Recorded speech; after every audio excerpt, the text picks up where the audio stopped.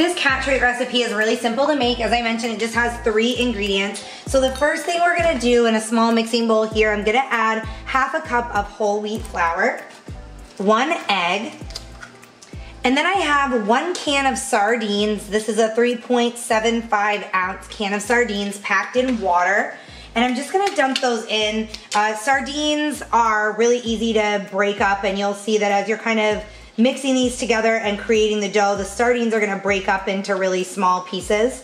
While you're mixing this or before you mix this, you're also gonna wanna preheat your oven to 350 degrees. You may hear mine beep here in a second um, as it heats up. So then we're just gonna mix this all together until it forms a dough consistency and all of those sardine pieces are mixed up nicely, broken into small bits. Uh, you could puree them if you wanted to, but they break up nicely. As I said, they're packed in water, so they're uh, pretty mushy when you pour them in. And as you mix them, you can see they, they just break up really nicely.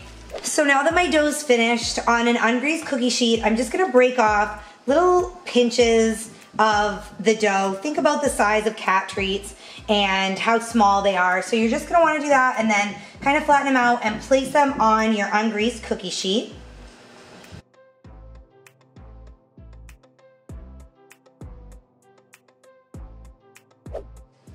You should be able to make about 50 to 75 cat treats with this recipe. Um, this is great for us because we have multiple cats. If you don't have multiple cats and you're worried that this is gonna be too much, you can either cut the recipe in half or you can make the treats and you can freeze some of the dough or freeze some of the already baked cat treats for up to three months. So this is a great way if you have just one or two cats, you can make a bunch of cat treats uh, to be able to use in the future and you don't have to cook all the time, you know, multiple times a week or even once a week to make your homemade treats.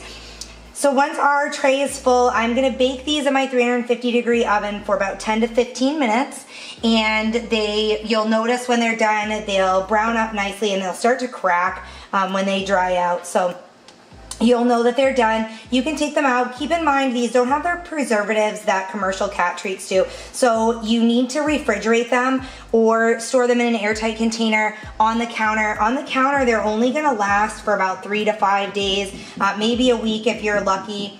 My suggestion for storing them would be to put them in an airtight container in the refrigerator. Uh, they'll get about two to three weeks of life out of them if you store them that way. So uh, that's my suggestion. But if you have multiple cats and you think you'll go through these in just a few days, you could certainly store them in an airtight container at room temperature on your counter in a cupboard as well. So you're gonna bake them, as I said, for 10 to 12 minutes in your 350 degree oven. And then as soon as they're cooled, you can feed them to your cat.